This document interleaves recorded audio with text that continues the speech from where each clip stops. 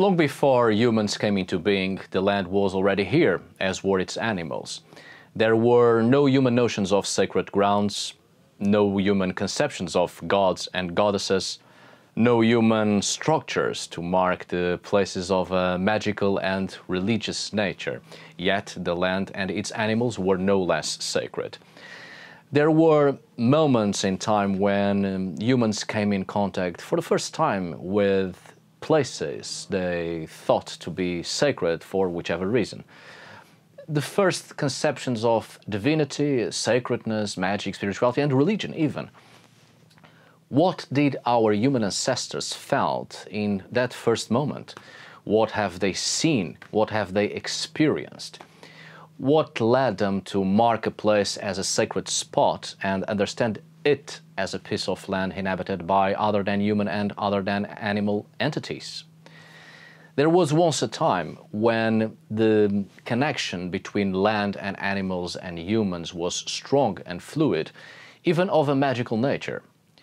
We may have forgotten the first sentiments our ancestors have felt and the events that led to perceiving the land as more than what it appears to be in such a past beyond time.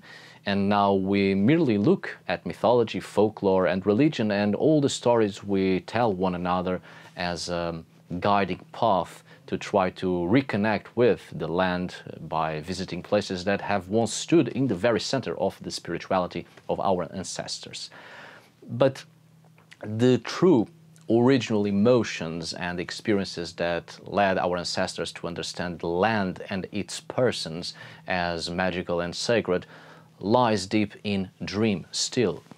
It is within the dreams of the land and the, the, dreams of those whose burial grounds are scattered throughout the landscape and whose memories flow in stories, albeit changed and twisted by historical time uh, that we can reawaken such emotions and experiences.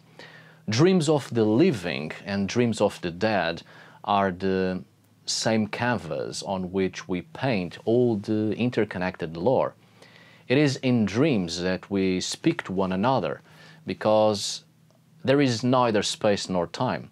There's no going back or forward. There just is. Dreams are transformation the transformation of spirits that have always been here even before coming into being. There's neither death nor life as moments that mark be beginnings and ends, but instead a fluid transformation of souls in a cyclical stream. Because what has come will come again. Hello, my dear friends, how are you? I'm Arith Härger, and today let's just have a conversation about death. but as transformation from an animistic point of view. I've said here before that death is seen as a transformation, but I haven't explored much on that subject, and uh, to be honest, today it's just a brief general idea which makes it for an introductory video for future content, or perhaps a sort of a complementary video to what has been told in my latest videos uh, in my um, White Wand series.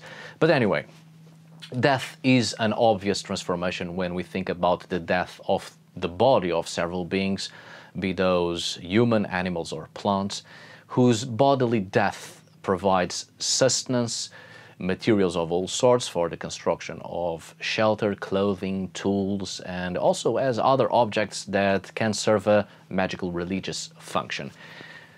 Before questions of a certain nature, I am vegan, However, uh, my own moral values are not to be brought here into this video as I am taking on a broader perspective within animism in which the death of the bodily existence of several beings can serve a variety of post-mortem functions within animism. And deliberate death or natural death is um, transformation nonetheless when bodily remains are deconstructed, redistributed, and altered for a variety of purposes. And although veganism is found within animism, animism as a whole is a broad and diverse reality of beliefs and conceptions. Certainly, veganism can lead to animism and animism can certainly lead to a better understanding of veganism, and therefore, uh, many people, many animists, eventually become vegan. However, people don't have to be vegan specifically in order to engage on an animistic lifestyle and having an animistic worldview. So, within this diversity of animistic realities, there are several celebrations towards the transformation of death, towards what is implicit by the transformation of bodies into something more after death of bodies. And this leads towards a certain level of appreciation and respect for death as a process that can be manipulated and used to a certain extent uh, to further give meaning and importance to spirits as providers of materials and nutrition with their bodily death. But deliberate death isn't the only means by which transformation can occur towards a specific function natural death, death by old age, death simply occurring when the body is no longer capable of maintaining itself. This type of death can also be celebrated. And I'm not talking about the celebration towards a conception of an afterlife existence or towards the idea of souls that shift their existence into a realm for the dead, or towards conceptions of the divine or a celebration of ancestors. I'm talking about the celebration of dead bodies that die of natural causes, and such bodies serve other functions that do not require an artificial interference or intervention in order to transform them, but are naturally transformed through decomposition. And the act to deliberately allowing decomposition to take place as a means to redistribute nutrients for other entities that feed on dead bodies and are also part of the ecosystem. And uh, by such entities' means of consumption, the corpse is transformed and serves another purpose within the natural life death cycle. Decomposition is the transformation of death into decayed organic material used as a, a fertilizer, for instance. Well, death is an expected transformation of individuals. Rather than being seen as an end or as a natural cycle, or even rather than being seen as another passage and continuation of spirits, death is seen as a transformation that eventually takes place in one's cycle of existence. Animistic systems of belief will often focus on a cyclical progression of spirits. Therefore, death is an expected transformation of spirits which will allow them to continue on belonging to the cycle of spirits. In a way, this gives the perception that death can be survived, since it is taken as a transformation of the spirit, and such a spirit will carry on within the cycle, surviving through the transformation itself and such transformation allowing the spirit to continue on transforming. If animism believes in the existence of something within bodies that carries on existing on several metaphysical levels of animation, vitality, and knowledge, even, this implies the continuation of conscious existence. Therefore, dreams play a key role within animistic societies if dreams are manifestations of the conscious and if they are also manifestations that come from the exterior but will eventually be projected into the conscious, they are part of what survives through the transformation of death. As such, dreams play several roles within an animistic understanding or worldview because they, they are in itself metaphysical levels of existence, projections of the ancestors, projections of a spirit's cycle of existence, revelations, signs, visions of interactions people have on other levels of existence other than the bodily experiences. Perhaps in this way, we understand why, within animistic societies, dreams are so important to the extent that they are even seen as expressions of the ancestors' experiences, but also dreams considered to be a way of entering realms of life that are extended beyond ordinary human day to day experience. And if dreams are ways to experience other realms of life, perhaps it is through dreams indeed that ancestors can be encountered. Because if death is a transformation that is expected of persons, and as such persons survive death, their existence continues on on other realms of life that can be accessed also through dreams, which may sometimes be ways of entering such realms of life because persons are expected to transform and shift. So, whatever lies within a body that is expected to transform and survive, it naturally already has this capacity to shift and transform because it is already expected to do so at some point in life. So, whatever lies within, let's call it spirit, just for a better understanding, uh, it is already predisposed to transformation and shift. It is naturally built to be able to do so. Therefore, dreams can very well be sometimes shifting into realms of life. Therefore, there's the possibility to experience things on such realms and uh, interact with its persons, dream persons. Of course, um, this is not to state that dreams are the only means through which animists establish contact with ancestors and eventually descendants. Dream enables encounter. Dream provides a possible interpretation that neither life nor death are static, and death isn't a permanent fixed state, and death is not opposed to life, but rather a transformation of persons and their relationships.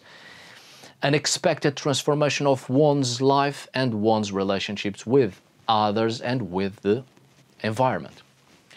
But this transformation, which can certainly be quite dramatic, doesn't have to necessarily be a complete change of, of the ordinary life, as certain aspects of life pre transformation through death can still be maintained.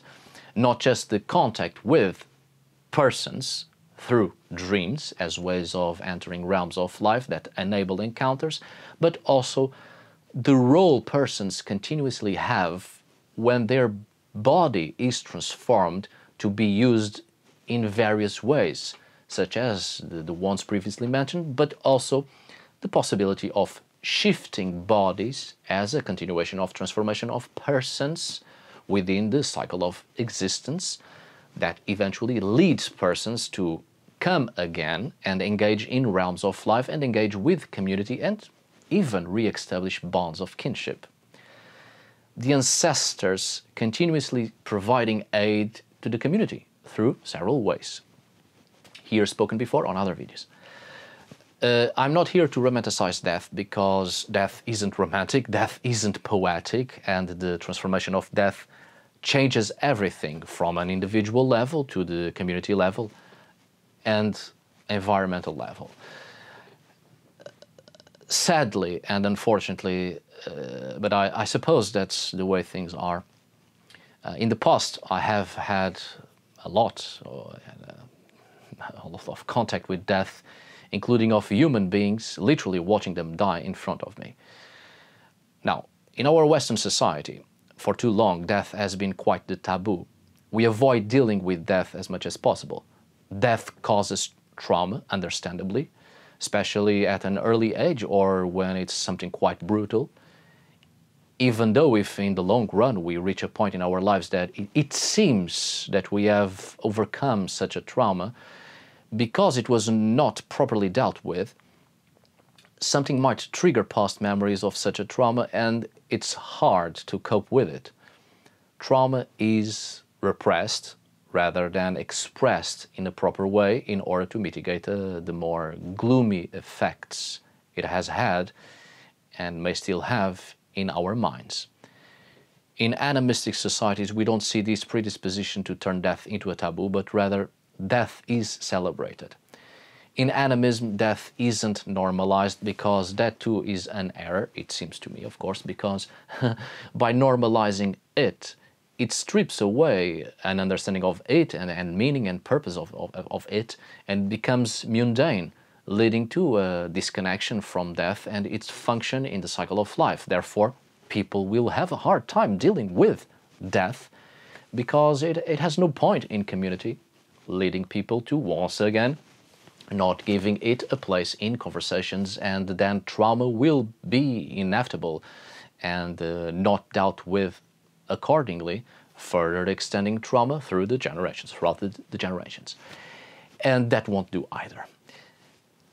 In animism, there's a celebration of death instead. Not a celebration of the act of dying in itself or the celebration of someone's death, but rather the celebration of what is implied death as a shift in the survival of spirits, death as an occurrence not opposed to life and instead enabling the cycle of existence to continue, and death as a transformation. Those are the things that are celebrated, therefore included in the vocabulary, in the collective mentality and pragmatic behaviors of a society or a community. And this doesn't mean, of course, that uh, there won't be trauma caused by death within an animistic society or community. But death isn't certainly seen as a taboo, and because it is included in life, it will open up the possibility to mitigate, at least, the effects of trauma. Transformation of death is celebrated. And I think this is important to take in mind uh, especially for us nowadays uh, and, and for those trying to return or to have a more animistic mentality and lifestyle, especially when it comes to forms of pragmatic magic and or the traditional, in traditional folk magic, as many people use parts of dead bodies, mostly of animals, and the great majority bones, animal bones. Uh, I've seen this quite a lot, and I've talked to some of such people, and there, there seems to be a certain absence of an understanding of death and the non-existence of a celebration of death. People often using bones and skulls, skins and feathers and whatnot solely because it is either cool or because it has become a, a new trend within modern day folk magic and witchcraft and so people have the need to follow a trend and include certain items in their lives to feel like they belong, as if the bones and skulls and such alone on themselves would do anything within the work of magic, as if from such body parts some sort of power or energy can be drawn uh, for the purpose of whatever magical craft people are trying to do. And that's a problem because the absence of an understanding of what death constitutes and the absence of the celebration of death and why it should be celebrated only leads people to have a collection of oddities without meaning and purpose. I am not stating that you shouldn't use such things or that such things have no power. What I'm stating is that without meaning and purpose, things are just things. Whilst if there is an understanding of death as an expected transformation of persons and as a means by which uh, there's survival of life, the manner in which we transform body parts to serve as utensils of a magical nature will give meaning, purpose, power, respect towards those who have been transformed by death. And instead of having a, a piece of bone, the celebration of what death implies will fill the piece of bone with purpose, with power, because we know it is part of a being that has been transformed, not only by death itself, but the remains are also transformed, giving the life of this being uh, and its existence a further meaning and purpose, and therefore its celebration further extends its life on other modes of existence with, within the, the cycle. It's not a piece of bone that has power, but rather the celebration of death that gives it a purpose and therefore a power. Death changes everything, and the celebration of death, or lack of it, is what transforms what remains, either in tools, utensils, clothing, building materials, magical religious objects, etc., or not at all, and leave it to follow other cycles of transformation people either have a collection of bones for nothing more, more than, than, than to, to show off and pretend something, which is what happens quite a lot, or they have a set of materials and objects that indeed have a purpose and power. Depends on the understanding of the celebration of death, of course. This is often applied when we go out into the woods and find all sorts of materials for our own craft. It is not right to take it all, and it is not proper to take and give nothing back.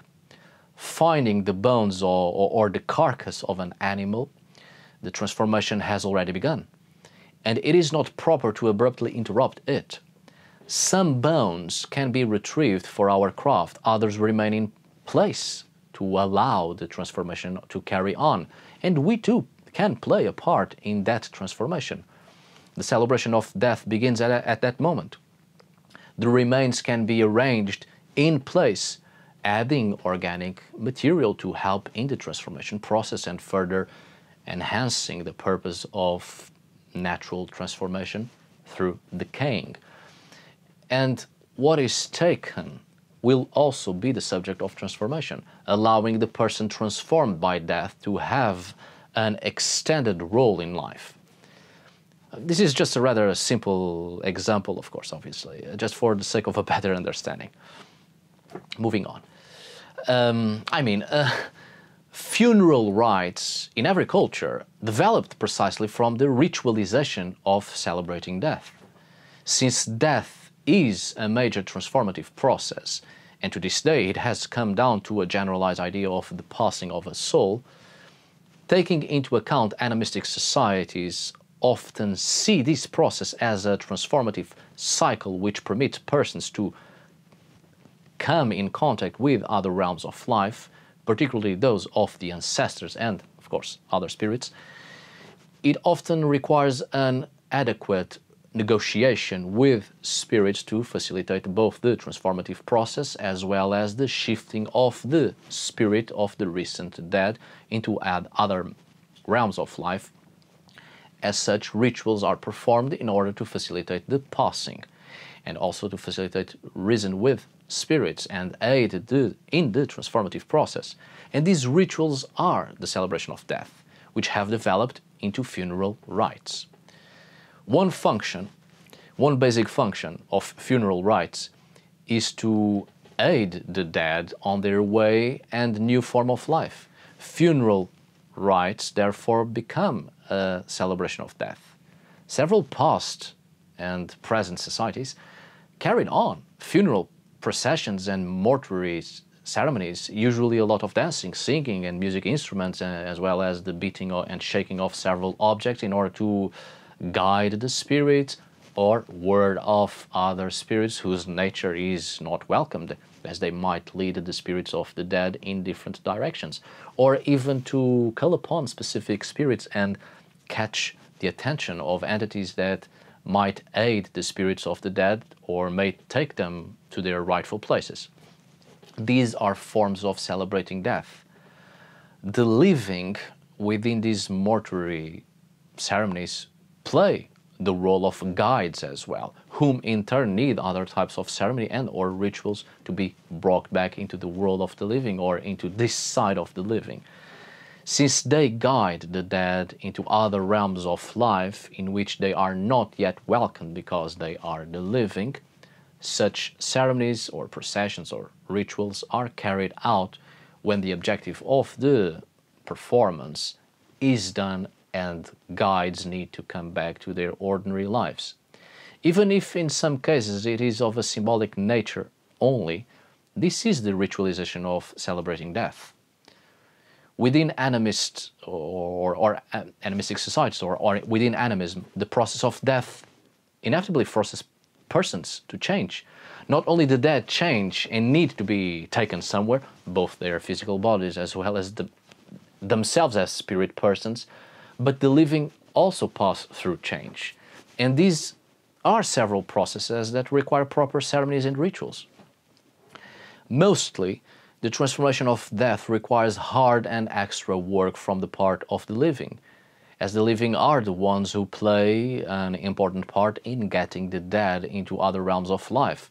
But also the change the dead pass through also has several impacts on the community of the living to which the dead person belonged to.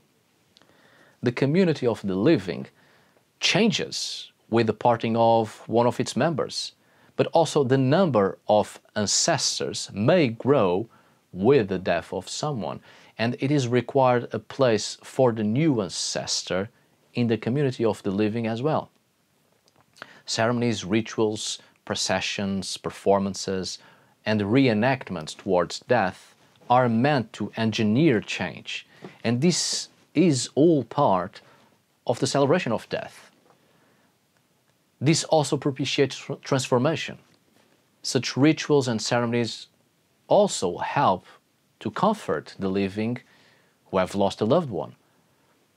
The importance of relationships persons build with one another seems to be far a far bigger focus in animistic societies. So I wouldn't say these are performances towards death itself, but towards the changes and transformations of relationships. Alright my dear friends, I do hope you have enjoyed this video and at the very least may it help you to change certain perspectives on death or rather on modes of life. thank you so much for watching, see you on the next video and as always, thank you for today. Until we meet again my dear friends, always and forever at every turn of the cycle.